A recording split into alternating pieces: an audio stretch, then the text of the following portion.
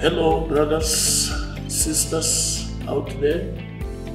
This is uh, Professor Chigizin Alfred Nevhutanda, the senior pastor of Higher Grace International.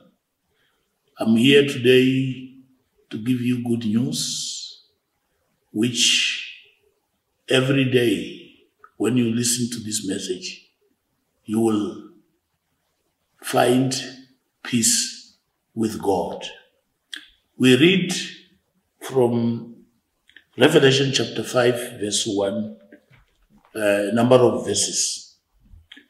And I saw lying on the open a hand of him who was seated on the throne, a scroll which is a book written within and on the back, closed and sealed with seven seals.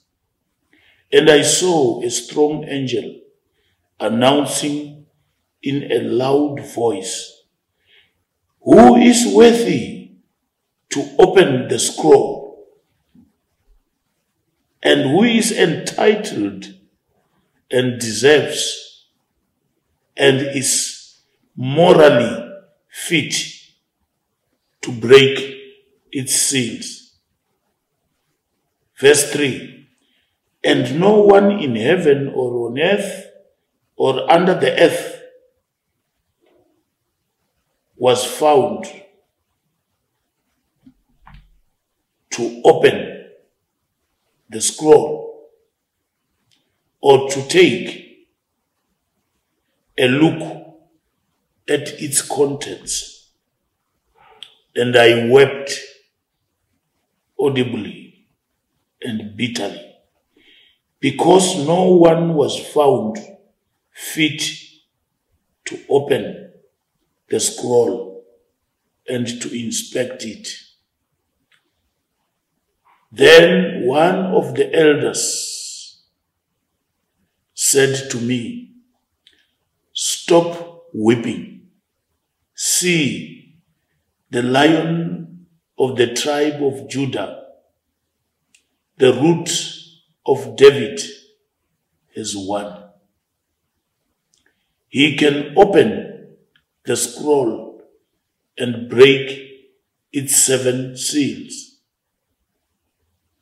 And there between the throne and the four living creatures.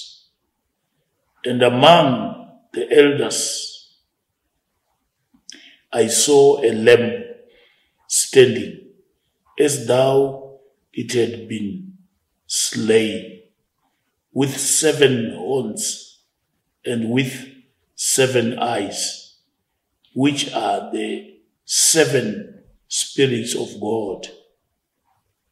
Let's end here. Stop weeping. Why are you crying? Stop weeping. The Bible says, I saw, this is John in the island of Patmos. He said, I had a vision. Someone crying.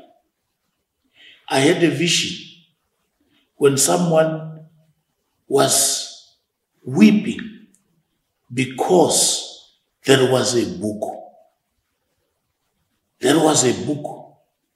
This book was written in the inside and on the back.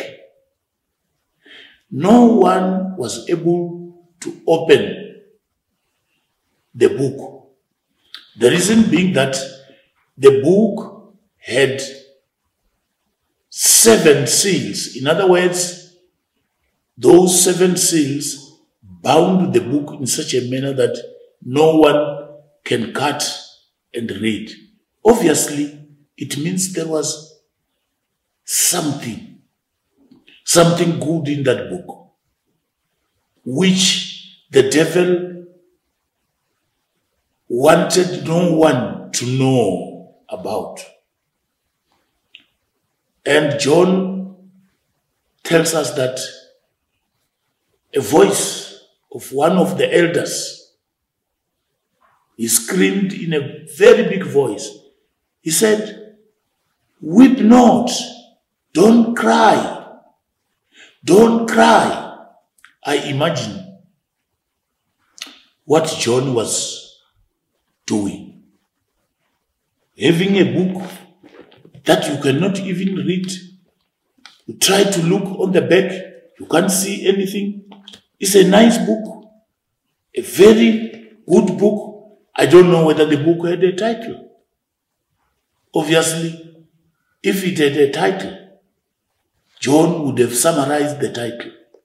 But it shows that there was nothing that you can you could get from that book. And the Bible says he cried. And as he is busy crying, a loud voice came to say, Cry not, my beloved son. Don't weep. There is someone. There is someone who is coming. He is the root of the tribe of Judah. His name is Jesus. This man is coming up to open this book because the Bible says there was no one who has got credibility to open the book. Amongst Christians, amongst pastors, amongst bishops, there was no one who is credible to open the book. And the other translation says, the, translation says, there was no one fit for the purpose of opening the book. I begin to understand that some of us, yes, we do follow Jesus, but we are not fit for the purpose that Jesus came here for. For example, Jesus had 12 apostles. Imagine, Judas Iscariot was not fit for the purpose of the ministry of Jesus, including my brother Simon, Simon Peter. It so happened that after he was so lazy to go uh, to the mountain with Jesus, he remained with his friends. And when Jesus came, was something surprising. When they wanted to ambush Jesus because of those, you know, little cents, little pennies that uh, uh, that they gave to Judas Iscariot, what came to Simon Peter was, by the way, I've got a knife in my pocket. Instead of trusting in the word of God, he took the knife and cut someone's ear.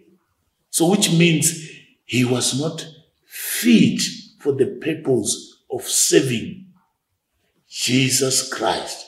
There are very good things that Simon Peter did, uh, and uh, we love him.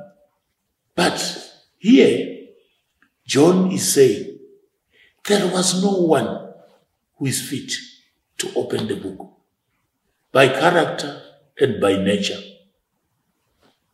I hope if it was today's, in today's life, people will be running away, seeing the book which cannot be opened. But I'm comforted in my heart by the word, weep not, weep not. There is a root of the tribe of Judah. He is worthy to open the book. My brother, are you worthy?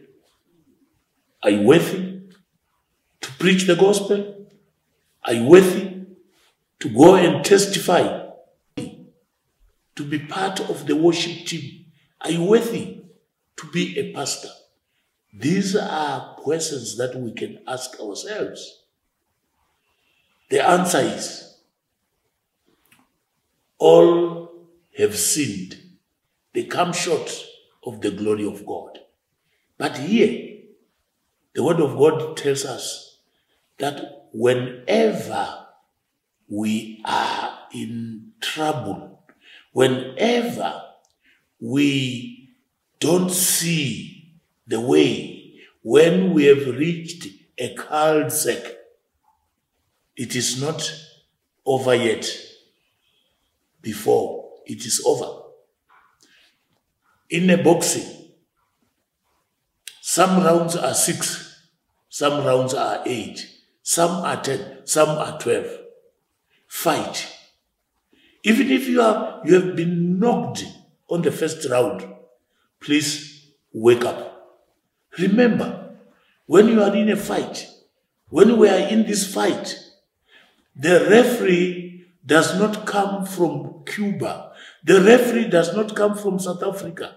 The referee does not come from Uganda or Ghana. The referee comes from heaven. Jesus himself. He allows you to get into trouble knowing that there is an opening. You'll find a way.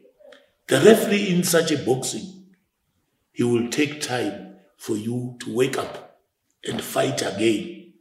There was a, a war here in South Africa uh, between a white guy and another guy from America. The way my white friends were looking at this guy, Pirefoni, who was down, they, they screamed, Pirefoni, wake up, wake up, wake up, there is still time. And he stood again and fight. The, the fight can be won by a point decision. Points can be split. So when you are a Christian, consider this, weep not. You might be very angry, my sister, at home. There is no one who is looking after you. My brother who is in the ministry, you might be quitting. You might be thinking of quitting. Don't quit. Don't quit. There is another second chance. He is coming. Behave like David's brothers who went to fight Goliath. You see, in their minds, when Goliath was making a lot of statements, uh, screaming at them to say, choose one man to come and face me. They would run away and go and stay in their, in their houses. But back in their minds, they were saying, David is still looking after his father's cattle. He's coming. And when he came, a solution was found. A solution was not found in the clothes that the king wanted him to put on. The solution was found in J E S U and another S. That's what David went to the valley and collected five stones J E S U and another S. That is the solution. So here, John is telling us that we must not worry whether we find ourselves in a dire need. Jehovah Jireh is there. When we find ourselves without peace, Jehovah Shalom is there. El Shaddai, El Elohim, you may name him. All the faces. God operates in faces. If you need anything, call the face of Yahweh. Call the face of Elohim. Call the face of El Shaddai. Remember this. Don't run away. Don't weep. your tears have reached to God's throne. God is on his way. Don't quit, my sister. Don't quit, my brother, my mother, my father. Don't quit. Things might not be working out. You don't see any purpose of your life. Don't quit. He is coming to open the book. Seven seals symbolize something which is very, very, very tight. Remember, the fire that was prepared for Shadrach, Meshach, Abednego.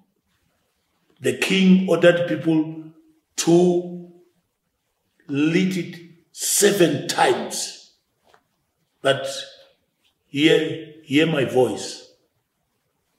When Shadrach, Meshach, Abednego approached the, the fire, the Bible says those who were, you know, pulling them, pushing them to the fire.